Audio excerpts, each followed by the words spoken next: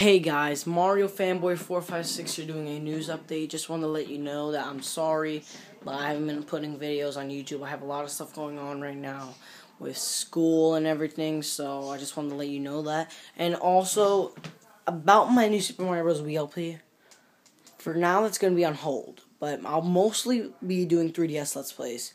I will continue Mario Kart 7 and Super Mario 3D Land, and when I finish one of those, which probably will be Super Mario Bros. 2, then uh, what you call it. Then I will do Super Mario 3D Land.